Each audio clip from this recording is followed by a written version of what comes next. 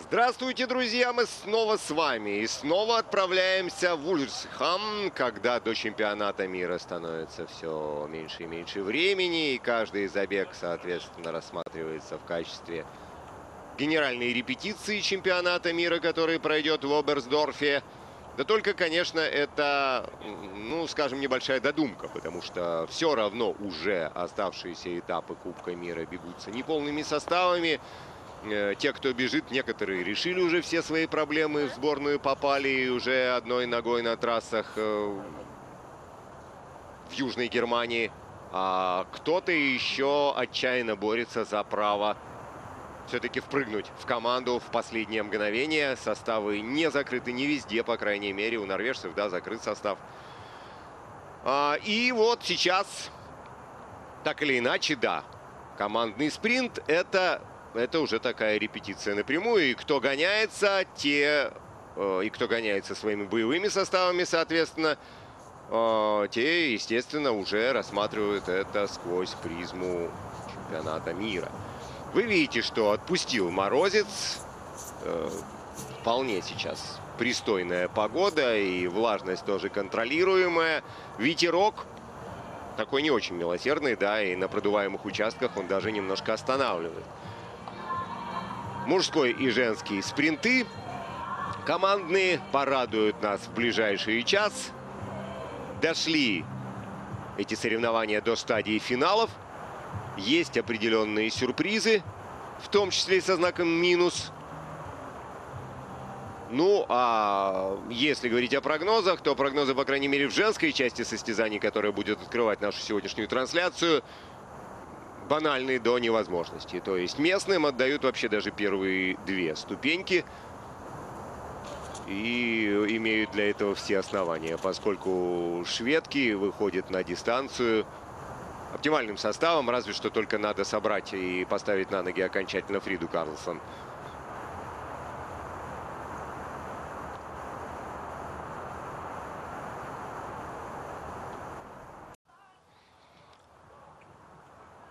Итак, командный спринт или такая своеобразная парная гонка среди лыжников. Коньковый ход.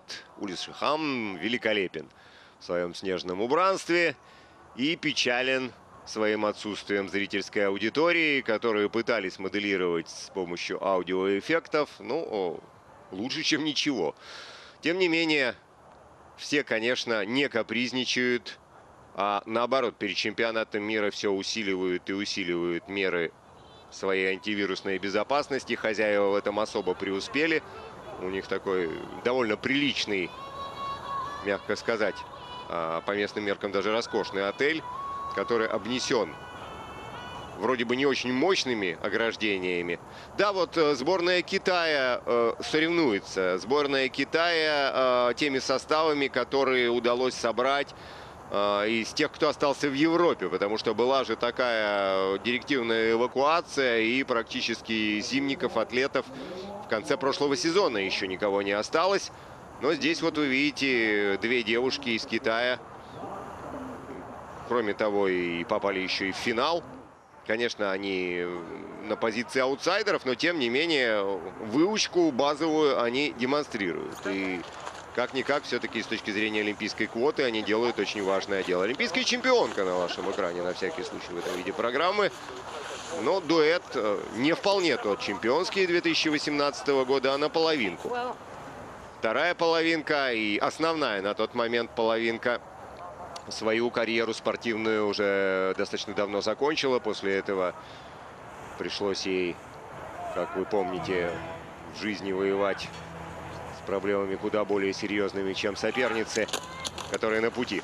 Но в этой ситуации, когда Диггинс бежит не с Кикен Рэндалл, а с Моббет Бьонсон, естественно, хоть они и выиграли свой полуфинал, тем не менее их рассматривают все-таки как, может быть, второй номер этого вида программы, а может быть и третий. Хотя этим самым немножко обижают и сборную Швейцарии, которая вышла в своем лучшем составе.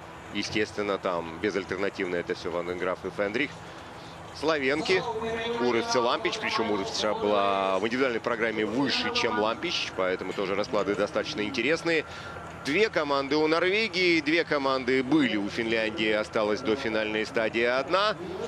А, и Финляндия, кстати говоря, в этом виде программы тоже не без титулов в новейшей истории. Ну и поэтому, даст бог, они поборются все-таки тоже за достаточно высокие места. А, ну а дополняют весь этот список и китаянки, о которых я уже говорил. Норвегия резервными составами, поэтому, да, тут настроение хорошее, перспективы все-таки более скромные. Смедос открывает на первом отрезке. И она, собственно, так радостно нас всех приветствует. Ну и чешская команда, опытная Ражимова, Янатова тоже не вчера начала бегать. Первая чешская команда, вторая, включающая молодую бойкую, вылетела на стадии отбора. Ну вот Сван и Дальквист. А Дальквист чемпионка мира в этом виде программы. Причем впервые э, личный этап Кубка мира выиграла накануне. Так бывает.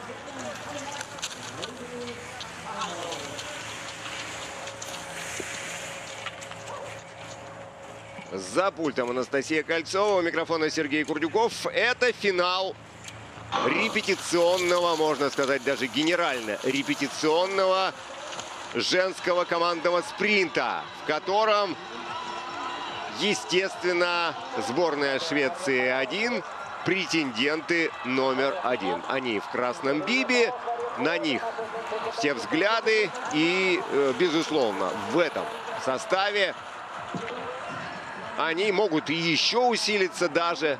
Майя Дальквист взяла золото на трассах в Австрии, на трассах в Тироле, в Зейфельде два года назад вместе со Стиной Нильсон, которая теперь вовсю уже озадачилась превращением себя в биатлонистку с переменным успехом, но, по крайней мере, вектор понятен, и так она потихоньку поднимается, поднимается, не так быстро, как многие хотели бы, но тем не менее.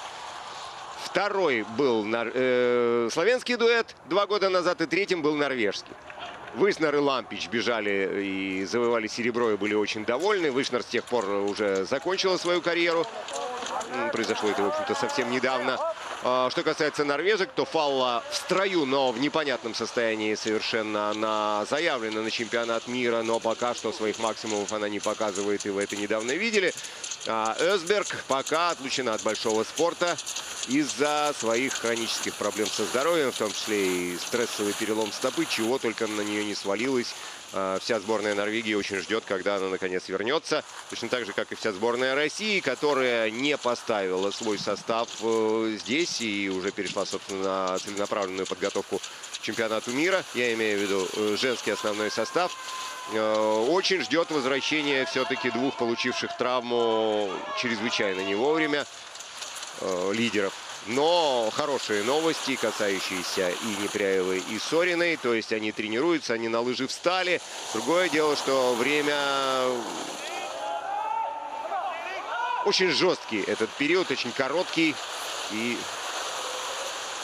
до какой меры удастся восстановиться за это время оставшееся, сказать трудно.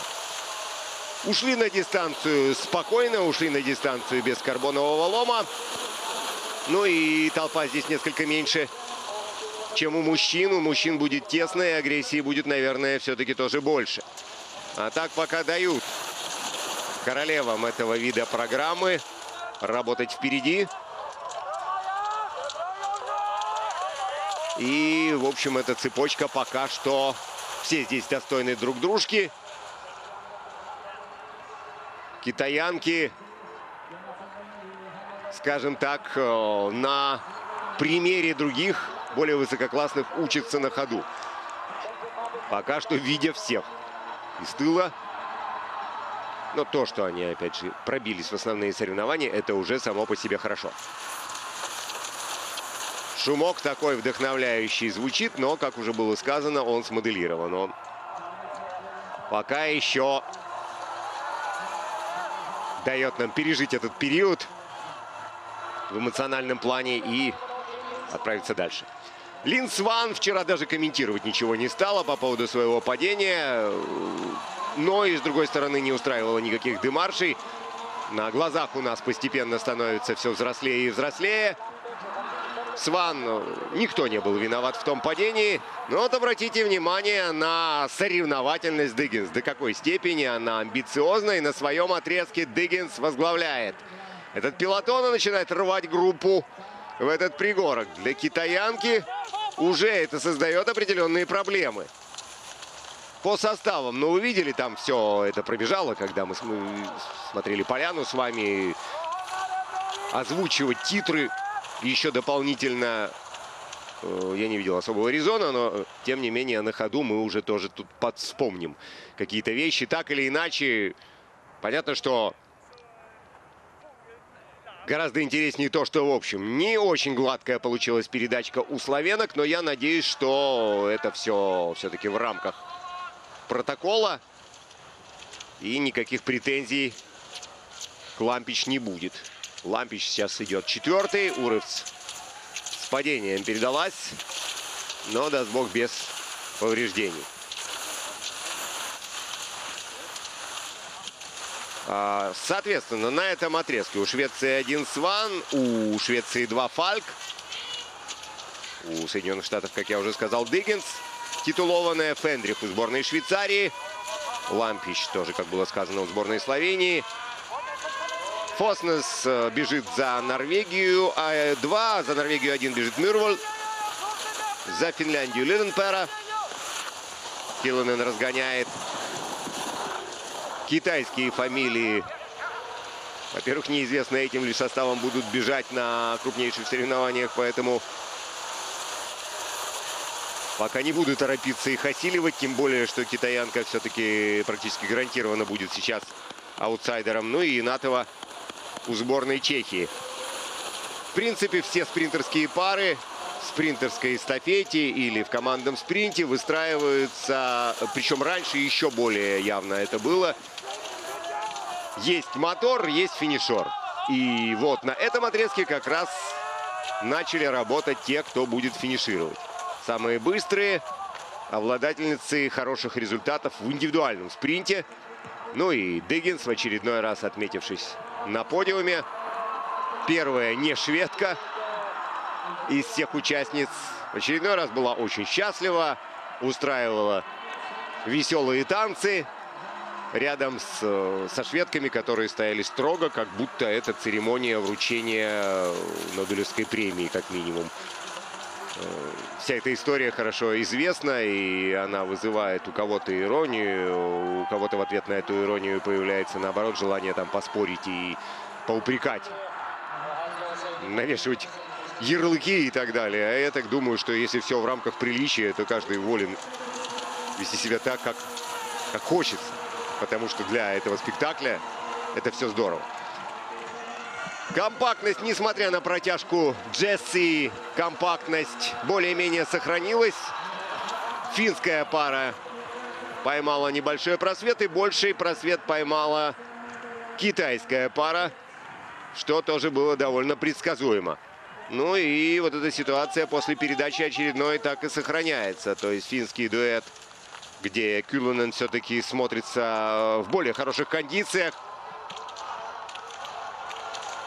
Может быть, они и догребут. Хотя уже при такой средней скорости высокой тяжело. А китаянки выпали окончательно.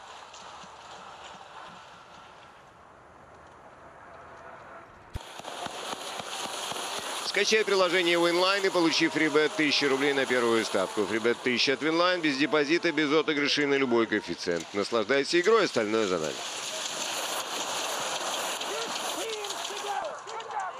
не развалились, как вы видите, но по-прежнему шведки утомляют и утомляют своих соперниц. Да, для того, чтобы развязка получилась острой такой, как нужно, для этого нужно попутчиц как следует проэкзаменовать. На передаче чуть раньше были американки. Бьонсон, несмотря на отсутствие гоночного наката в этом году, не полная, но тем не менее недостаток, скажем так, его.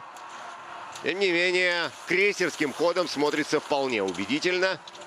И между шведками она сумела вклиниться точно так же, как и славянская молодая спортсменка, которая наказалась неробкого десятка и пошла дальше, чем Лампич. Причем у Лампич, в отличие от только что виденной вами Сван, проблем на сей раз не было с выбором дорожки правильной. Список претенденток на призовые места по-прежнему достаточно длинен. И маленький сюрприз заключается в том, что прилежно и спокойно одерживаются чешки. Они на рожон не лезут, немножечко здесь напортачили во время передачи. Дырка небольшая образовалась между ними, плюс еще норвежками и всеми остальными. Но сейчас все, подсобрались. Не списываем швейцарок тоже. Швейцарки постоянно сидят в засаде. Швейцарки не берут на себя инициативу и не тянут. Ну и, конечно, прекрасна возможность работать одношажным коньком в горку. Когда горка короткая и когда удалось расслабиться – сбросить напряжение. И, соответственно, уж техника тут присутствует. Мощные движения у всей элиты получаются. По крайней мере, шесть команд даже и не думают о том, чтобы перейти на диагональ. Что является все-таки более щадящей техникой, но позволяет, кстати говоря, взвинчивать темп, позволяет включить припрыжку. Все выпало окончательно. И финская единственная сборная, которая добралась до финала – Единственная пара, которая добралась до финала, финская.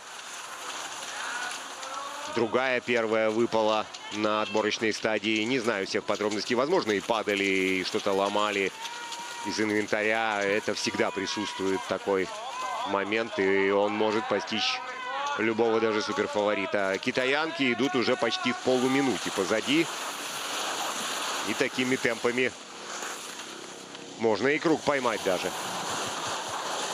Все время Диггинс жаждет борьбы и жаждет возможности показать свою максимальную скорость.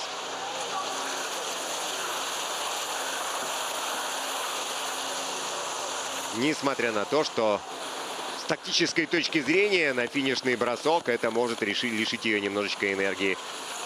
Сван очень хладнокровно идет, при том, что она сама любит полидировать, как мы все прекрасно знаем. Но вот, возможно, после вчерашней накладочки, которая так или иначе подпортила ей шансы отличного натиска в генеральной классификации Кубка мира. Мы напоминаем, что в спринтерском зачете идут и личные гонки, и командные спринты тоже.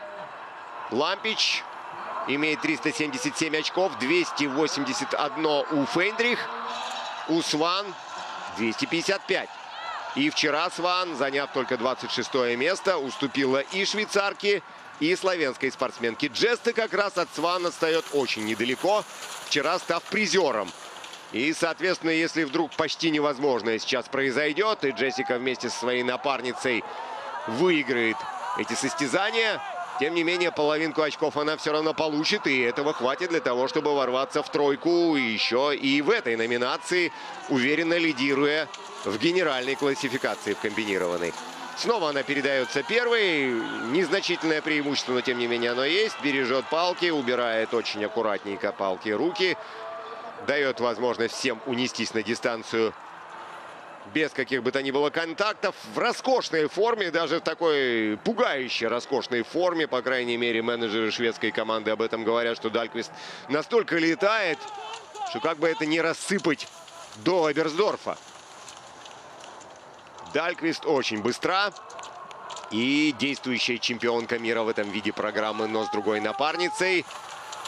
С этой новой напарницей чувствует себя, может быть, даже и еще более уверенно. По крайней мере, с точки зрения взрывной силы, с точки зрения именно спринтерской заточенности, Сван, пожалуй, будет даже более ярко выраженным спринтером, чем Стина Нильсон. Нильсон, которая добралась до сборной. Кто следит за биатлоном, прекрасно это знают, и мы об этом часто рассказываем. Добралась уже до Кубка IBU. То есть э, при правильном подходе дело пойдет. А подход в данном случае правильный. Не сумели все-таки вскружить голову. Это очень важно. Ну а длинная скамейка запасных шведской сборной гарантирует всем какие-то медали так уж точно. И Тут обмен уколами снова через границу между Норвегией и Швецией. Норвегия заявляет во главе с непобедимый почти Йогог, что они претендуют на золото в каждом виде женской программы. Шведки говорят, мы в таком случае тоже. Хотя у них, конечно, дистанционных видов э, оснований меньше. И у Каллы проблемы серьезные. Как выяснилось, и со спиной тоже. Если бы в добром здравии была Калла, может быть, и дали ей возможность прогоняться именно на вот этих разгонных кусках. Не в качестве финишера, естественно, но на вот этих первых полуэтапах. Но у Каллы, причем интересно как-то, что поначалу была полная растерянность, потому что на домашнем этапе она установила антирекорд свой, по крайней мере, взрослой карьеры. То есть на самом первом своем кубковом этапе она была только хуже э, по индивидуальному месту пятый десяток. И причем она поначалу ни она, ни многолетний тренер не могли ничего объяснить толком. Мы не понимаем, что это происходит. Видимо, это последствия коронавируса и так далее, и так далее. Потом вдруг все-таки пошла информация в этом году, что спина. И что она сейчас получает физиотерапевтическую помощь и чувствует себя потихоньку все лучше и лучше. Тем не менее, конечно, вот учитывая ее популярность, все очень расстроены тем, что ее шансы на чемпионате мира под большим вопросом оказываются. Фальк продувает меха. Остается последний кусок в ее исполнении. И она обязана бороться за призовые места так или иначе. Она вылетает, как из прощи, аккуратненько, чтобы никого не зацепить. Встраивается за лидером сборной юным обладательницей малого хрустального глобуса прошлого года. Пока что Усван на взрослом уровне. Ни олимпийских, ни мировых регалий еще нет. Но она рассматривается в качестве кандидата на то, чтобы собрать целую коллекцию. Как это получилось, допустим, у другой юной, которую потом немножко перегрузили. Тоже, в принципе, насчет Фриды. Ну, даже вот по, по, посмотришь на нее, просто посмотришь на, на на ее нынешнее состояние, да, на ее усушенность и понимаешь, что хватили лишку.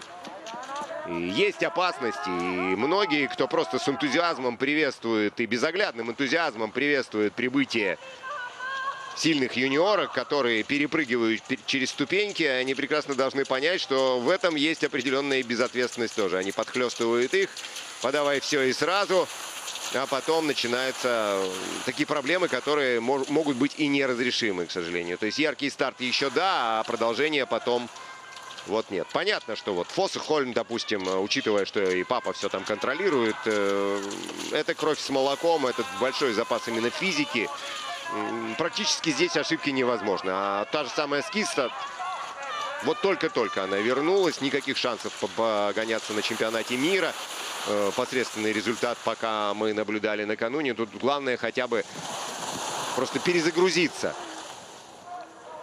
И, собственно, после ее падения на чемпионате мира, который все-таки э, стал для нее поспешным чемпионатом, слишком ранним чемпионатом, оно ознаменовало как бы ее постепенное сползание в яму. Ну ладно, это все, конечно, так или иначе. Кошки, которые скребут на душе. Но вот развязка. Развязка, которая в чисто спринтерском стиле, и у всех есть практически равные шансы. Получается так, что это почти лотерея и очень опасная лотерея. Вы видите, что все хорошо себя чувствуют. И швейцарка, и славенка, и обе шведки. Ну и в этом жестком поединке вообще ничего не можем мы предсказать. Болельщиков немного болельщики, только свои собственные напарницы да тренеры. Выключается работа руками. И дальше только бы не завал, только бы не завал. К этому очень близко. Швейцарка очень рискует полететь. Сван контролирует, жестко контролирует свою траекторию. То же время отлично несут лыжи Славенку Лампич, которая вчера была обделена успехом и которая мотивирована ровно так же, как и Линсван. Выходит с нею на одну линию. И посмотрите, она способна, способна бороться на равных. Она выходит постепенно вперед, и швейцарка тоже. И американка, что такое мы видим? Ну, еще бы немножко, еще бы пару метров дистанции. На деревянных ногах Лин Сван осталось бы даже вне тройки. Вот это да! Вот вам двойная победа шведской сборной. Вторая сборная вообще даже вне пьедестала почета. А сборная Словении напоминает о том, что в нужный момент в феврале это такие девочки, которые могут удивить кого угодно. Вот разве не зажигательно? Разве не сюрприз? Серебряные, серебряные призеры. Так, тут кто-то опять оговорился. Почему? Потому что услышал, что кто-то из них вспоминал ситуацию с Большиновым. Ну, это теперь, вы знаете, уже э, такой нарицательный глагол получается, когда ситуация э, драки за позицию, за траекторию, то э, сделать Большунов, это значит э, попытаться огреть своего соперника, который подрезал палкой. Ну вот. Славянки сегодня чемпионки. А Сван вообще выживала. Еще бы чуть-чуть. На одном характере, только на одном желании не проиграть окончательно.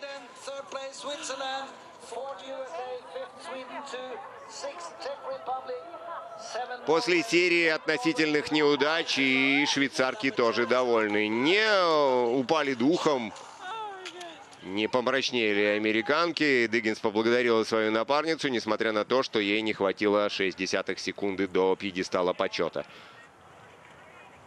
Всерьез, окончательно всерьез будут восприниматься результаты через три недели.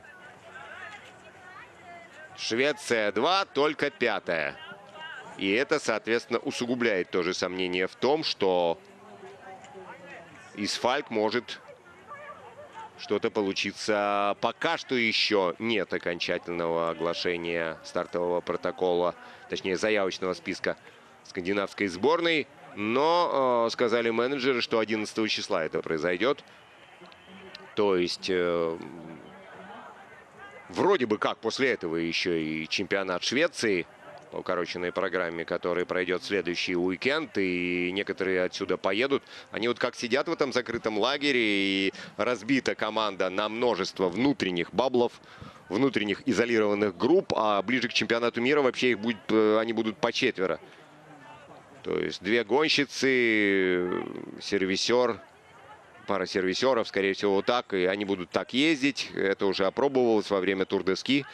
Они будут так перемещаться на микроавтобусах. И если, допустим, вот как у Сван была ложная положительная проба, то в отличие от норвежцев, у которых два ложника Носума приводили к тому, что практически всю сборную готовились закрывать, здесь так или иначе катастрофы не будет. Катастрофа будет не, не такого масштаба. То есть они готовы к любым перипетиям, к любым ударам судьбы. Ну что же, понятно, что человек номер один, Лампич, э, человек медаленосный, и она очень сильна, она имеет титул, начиная с юниорского периода, она отличная многодневщица, спринтер. Но, с другой стороны, для Урывс это, конечно, прорыв. И прорыв хорошо подготовленный. То есть она дала возможность своими полуэтапами. Сохранить хорошую позицию для маневрирования. И подарила Лампич отличную возможность доработать и ворваться на первую строчку пьедестала.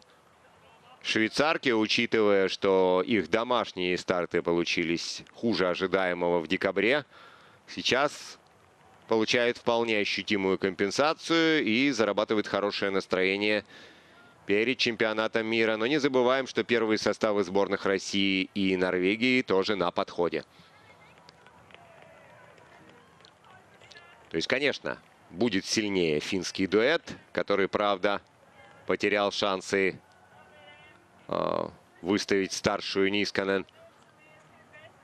конечно, совсем другая будет сборная Норвегии и появится, кроме того, еще сборная России. Поэтому тут почивать на лаврах призеры сегодняшние не станут.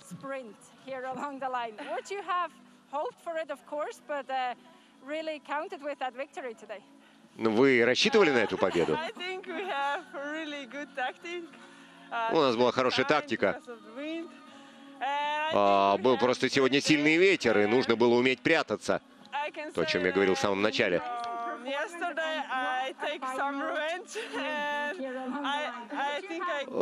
Удалось взять небольшой реванш за вчерашнее поражение. Вчера я, конечно, для себя выступила слабо, говорит Лампич.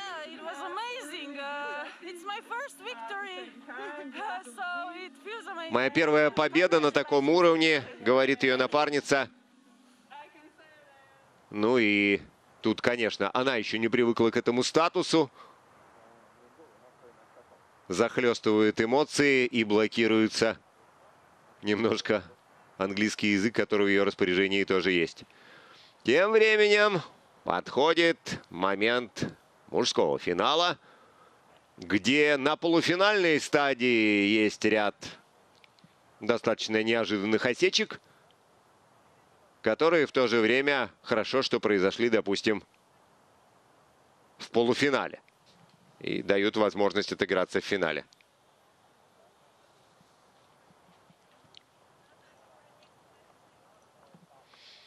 Пока мужчины выстраиваются, мы уйдем на небольшой перерыв.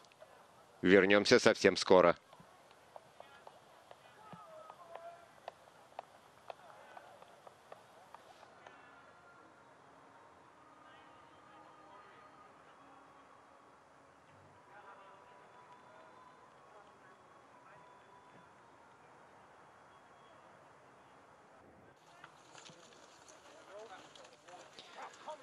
Мужчины продолжают разминаться.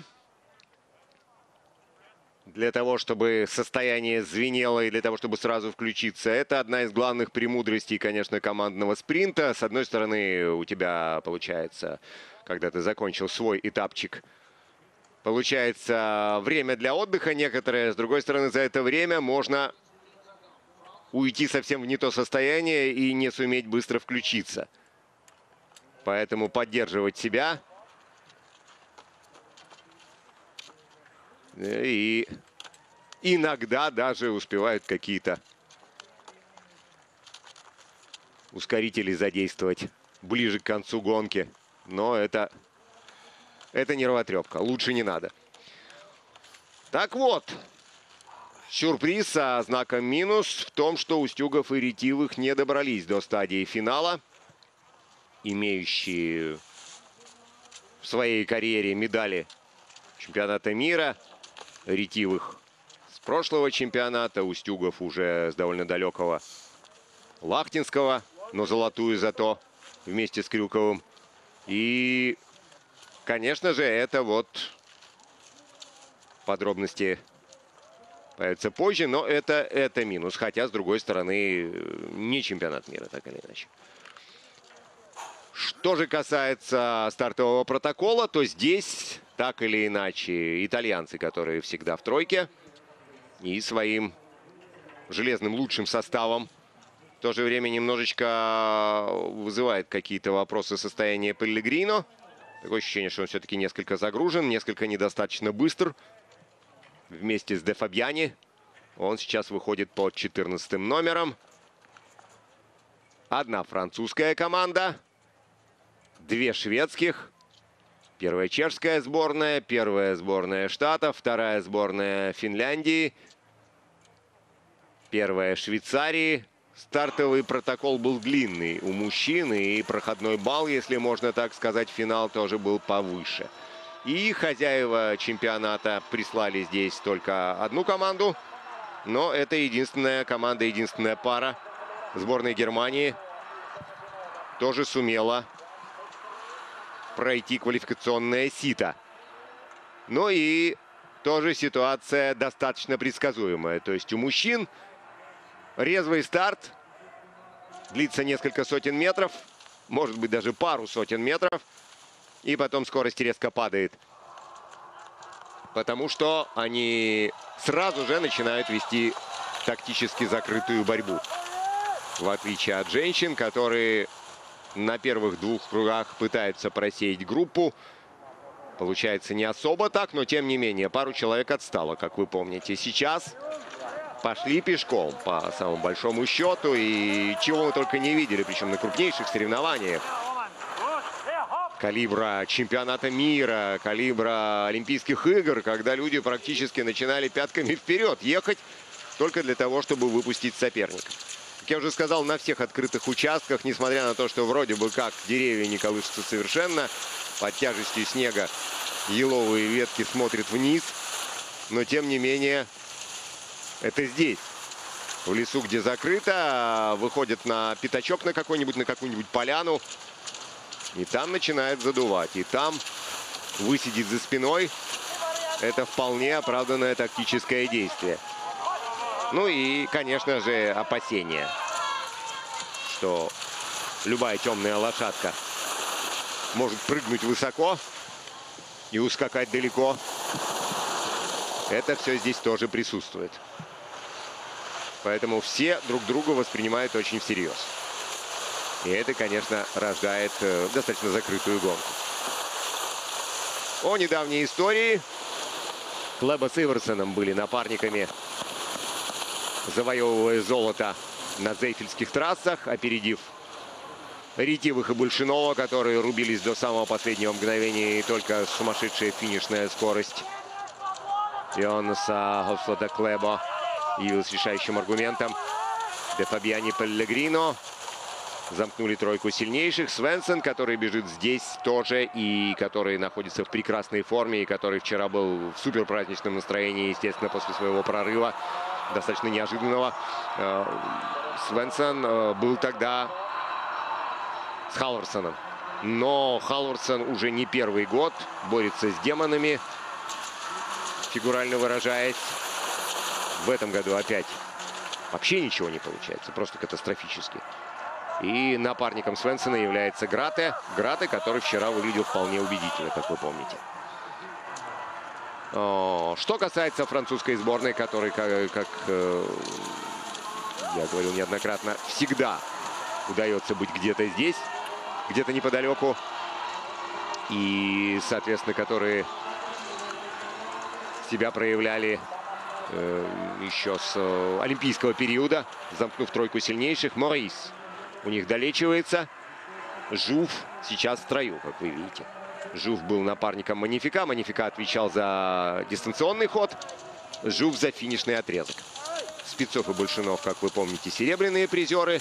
И тоже здесь формула абсолютно такая же. Денис, потому что... Ну, хотя э, тоже финишный бросок у него сейчас все острее и острее снова. После всех проблем, которые он преодолел. Ну и Дизель Сунбю плюс финишер Клеба. Такова была победная формула сборной Норвегии. Сборная Норвегии, которая здесь присутствует, но присутствует резервным составом. И, в принципе, наблюдая за тем, как выглядит резервный состав, мы убеждаемся в том, что, в общем-то, логичен выбор но с ума. Когда такая длинная скамейка запасных, он просуммировал все результаты, в том числе и результаты внутренних соревнований, которые были не очень на слуху у основного сообщества и взял тех, кого и положено было брать.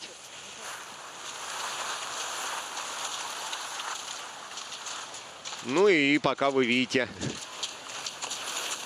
такая скорость, она настолько всем доступна, что пока могут повести даже Соединенные Штаты. Связка Хэмилтон и Болгар вряд ли может претендовать на призовые места, но, по крайней мере, не позволить себе проваливаться – И это дело чести. Пока что темные лошадки. Как вот Селер Новак, например. Чешский дуэт. Новак хорош был в индивидуальной программе. Совсем зашифровались наглухо итальянцы, но нужно учитывать все-таки тот момент, что, да, слава богу, здесь такого столпотворения нет, как в полуфинальной стадии, но, тем не менее, идя настолько далеко, ты рискуешь. Когда вот такие прокатные круги, то еще ладно. Когда круг быстрый, и кто-то попытается пойти на разрыв, а у тебя сломался инвентарь, вот здесь ты можешь при всех своих силах поймать дыру. И если тебе еще раз выходить на старт, а пока была только одна передача, то эта погоня совершенно ни к чему. Не успевают восстановиться, потому что такие все-таки скорости, такой уровень противостояния, что достаточно тебе сломать свой ритм и один раз устроить себе догонялку, чтобы на следующем круге тебя, допустим, взяли и выключили бы, выбросили. Поэтому нужно, нужно сберечь машину, как говорят в моторных видах спорта, для начала. На этом отрезке важно саккумулировать энергию, и важно поберечь инвентарь, и важно не поймать дыру. Финская команда.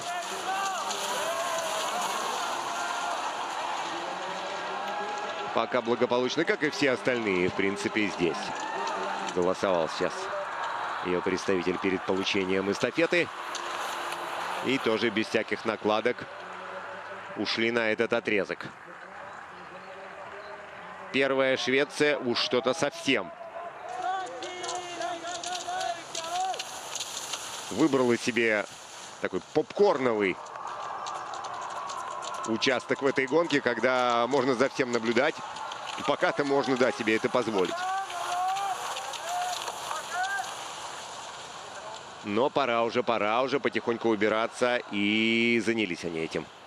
С последней позиции постепенно уходя.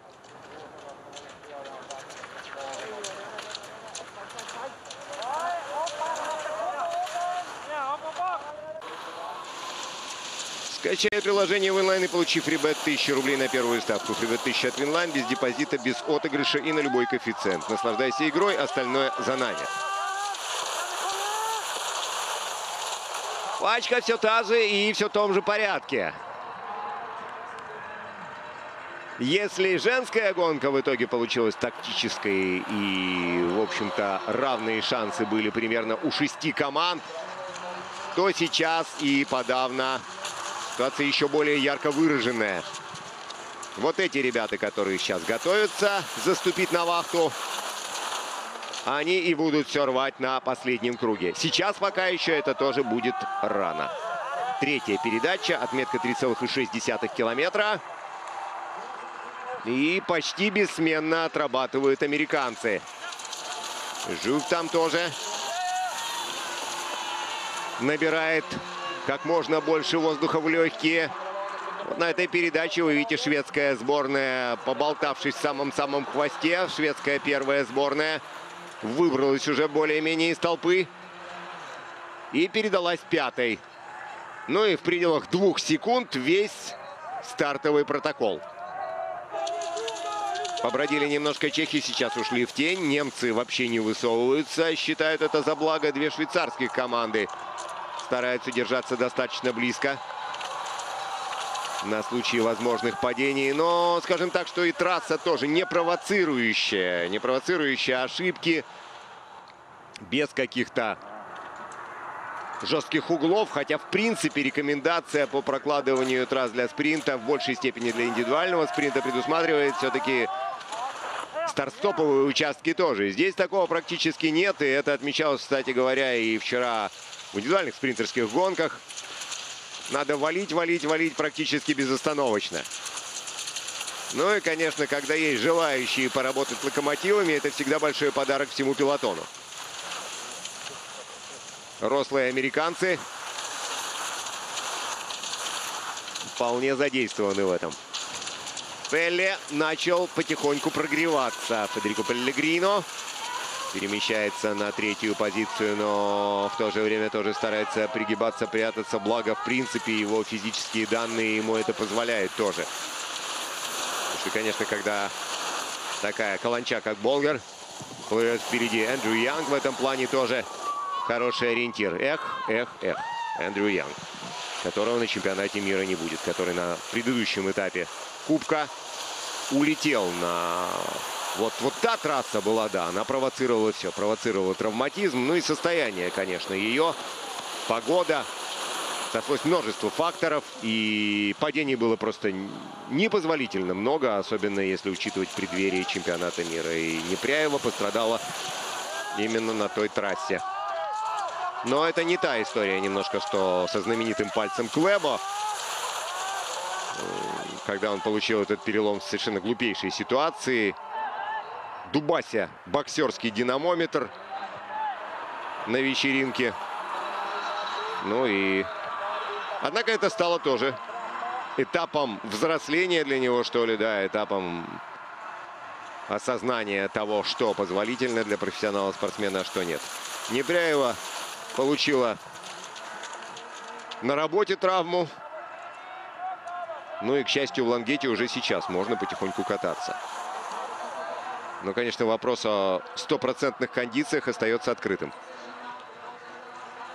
Поживее, поживее прошли этот кусок. Присмотрелись немножко друг к другу уже на уровне определенной усталости, которая должна учитывать, конечно, и то, что было отработано перед этим. Полуфинальную стадию. Жив продышался отлично. Шанова включается и во время передачи рассыпался немножко пилотон. Вы видите, тут уже задергались швейцарские ребята. Заметались. Вот это уже совсем другая гонка, потому что сейчас спортсмены пошли свой завершающий кусок. Те, кто бежал на первых этапах, бегут свой завершающий сегодняшний этап и бегут, естественно, на максимуме. Передаться с запасом – идеальный сценарий, который вряд ли осуществим. Но и вот, конечно, ладно, когда падает тот, который передался, а тот, который стартует – это катастрофа. Он сумел каким-то образом сберечь свой инвентарь. Не самый опытный Харлов все-таки – такой толкотне и при таком напряжении. Свой кусок, свой полуэтап Уоррен отработал отлично. Но, к сожалению, вот его менее искушенный напарник совершил такой живописный, но выбивающий его сразу пируэт. Шведы проснулись. Обе сборных проснулись окончательно и очень опасные. Ну, здесь все та же формула. Сберечь инвентарь, не упасть.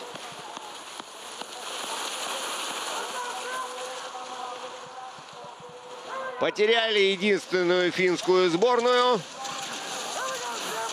На этой драматической передаче все остальные сохраняют шансы за призовые места побороться.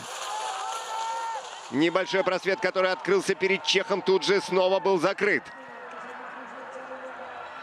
Обе шведских сборных идут плотнее и внимательнее.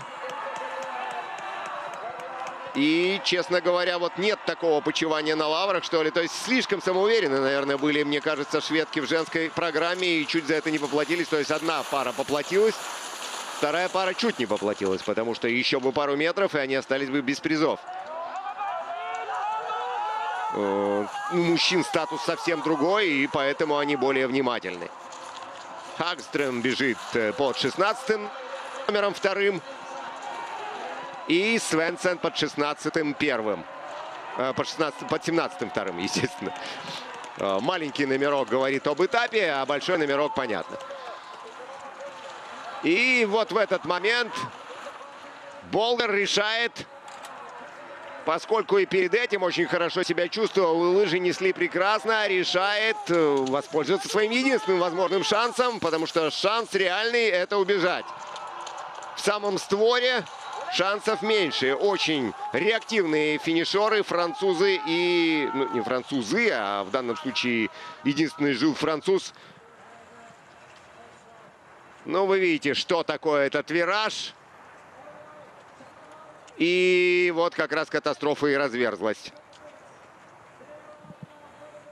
Падает Шанова. Не знаю, будут ли какие-то вопросы и будут ли какие-то попытки подачи протестов. Но там была просто куча мала. Падение Шанова выбрасывает Джува. И, соответственно, его спринтерские хода сейчас совершенно не востребованы. И догнать сейчас уже тоже нереально. Когда такая крейсерская скорость, шансы улетучились. В то же время Фургер крепкий, сбитой, небольшой, скоординированный спас себя, спас свою позицию и вышел сейчас на первое, на первое место текущее. Тем временем француз попытался в предыдущий пупок небольшую крутую горку догнать. Чуть-чуть приблизился, но влиться тоже не сумел и опять убежали. Так что при всех своих отличных ходах, при всей своей отличной функциональной готовности сегодня французы остаются уже теперь гарантированно без призового места. Да и даже, опять же, если бы Жив догнал, прыти на окончательную развязку не хватило бы. Пеллегрино старается не рисковать, но здесь вот закрывается траектория. Он успевает, успевает проскочить и выскочить на внутренний радиус. Федерико Пеллегрино Человек, который постоянно на основных соревнованиях в тройке сильнейших, что индивидуально, что вместе с своим напарником, выходит на первое место и уходит в отрыв. Фергер зацепился. Фергер перекрывает ходы-выходы всем шведам. Но шведы, если одна сборная будет на пьедестале почета, то это будет хорошо. Но Свенсон, конечно, претендует индивидуально. Свенсон, настолько сильный вчера показавший свою силу, Претендует на большее, чем то, что он получает. Уже не получится добраться до первого места. Не оглядываясь, работает Пелле без всякой тактики, не боясь, что кто-то выйдет у него, как говорится, с колеса и выигрывает за явным преимуществом. Нокаут. Кико Пелле супер чемпион сегодня. Швейцарцы довольно неожиданно вторые. Хотя, ну, все-таки дальше все было довольно широко открыто. Но посмотрим еще с другого угла в том числе, потому что чехи, прорвавшись на призовой подиум, не знаю уж на второе или на третье место, чехи празднуют не меньше, чем беснующиеся сейчас швейцарцы. Второй швейцарский дуэт менее преуспел, но, вы видите, тоже участвует в общем праздновании без всякого соблюдения социальной дистанции. Сквадра делает хорошую заявку. Пеллегрино, несмотря на то, что будут спринтерские поединки в новое место, не поедет туда. Лишний спостаменто, то есть переезд. Это ему сейчас не нужно. Хозяева ну, вы сами понимаете, что это своеобразный гранд-финал гоночного уикенда. Гоночного уикенда, где у Швеции было много успехов. И вчера в индивидуальных соревнованиях просто классно выступили. И мужчины, и женщины причем. Ну а сегодня развязка Сван не первая. Не первая, это значит уже тоже катастрофический проигрыш. А, что касается мужской программы. Так, ну там кстати говоря, изучили фотофиниш. И, кажется, все-таки вторая шведская сборная потеснила чешскую на несколько соток. Давайте еще раз смотреть этот повтор. Честно говоря, все внимание было... Еще небольшой пригорок тоже. Есть возможность здесь вложиться. Ну, да, да, да. Запоздал со своим полушпагатом чех. И его крепление выезжало вперед уже после финишной черты. Растяжка хороша, а вот реакция не совсем своевременна. Да, вот в нужный момент позиция Чеха была четвертой. И не будем оспаривать то, что диктует нам фотофиниш. Чехи остались деревянной ложкой в этой гонке. Вот обратите внимание опять-таки на физические данные. Тут как мячик скачет шад какая прыгучесть у спринтеров. Требуется именно такая мускулатура. Да и в принципе импульс это всегда хорошо. И для той же самой классической техники, особенно в гору. Да, конечно, зарисовочки, вот это супер slow-mo.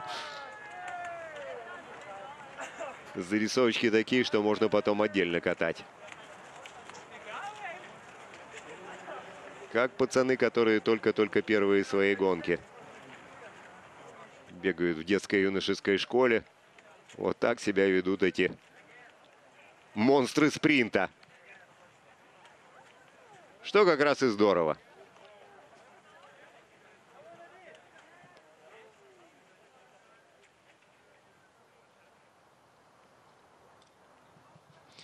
Италия 1, Швейцария 1, Швеция 2. Такова тройка сильнейших. Все-таки более-менее не имели статус фаворитов, поэтому развязка логичная. Французы не на своем месте, это да.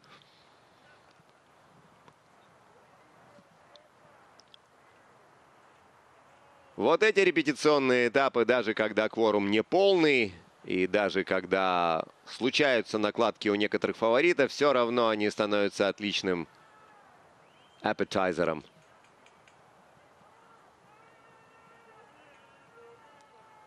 Разгорается наш аппетит. И с большим нетерпением мы ждем конца февраля. Но для начала у нас суперчемпионаты сейчас пойдут. Э, это горнолыжные, потом практически синхронно с этим стартуют и биатлонисты, и северные дисциплины лыжного спорта заступают на вахты э, на своем мундиале еще чуть позже. Ну, такая получается почти мини-олимпиада. По крайней мере, репетиция Пекина. К сожалению, репетиции на пекинских трассах в этом году аннулированы. В следующем должны появиться Ванденграф. Удивлена, кажется, даже. Одними глазами улыбается, под маской видно. Товарищи ее по команде сумели стать вице-чемпионами. Но Пелле был вне конкуренции, и Де Фабиани свои отрезки тоже провел. И спокойно, и где надо сэкономил силы. Очень-очень грамотно. На классе. Ну, а как выяснилось, скорость у Пеллегрина вполне присутствует. И сегодня он ее сумел задействовать. Вчера по каким-то причинам не в полной мере это получилось. Перед чемпионатом мира будут э, еще трансляции. Будет еще один блок из замечательного места на Мораве. Поэтому следите. Не только теннис, не только Australian Open. Не пропускайте зимние топ-ивенты в эту самую белую зиму. Не менее чем за 20 лет, я думаю.